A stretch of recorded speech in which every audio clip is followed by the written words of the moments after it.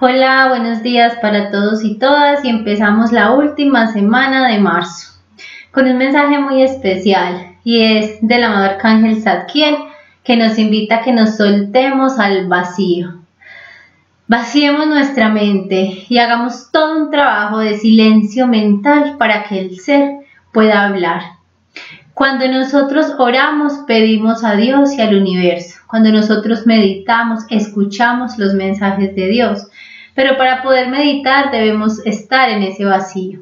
Entonces vamos a hacer el ejercicio de centrarnos en nuestra mente y ver un espacio vacío para poder recibir todos los mensajes que el universo tiene para cada uno de nosotros. Feliz día para todos y todas. Chao.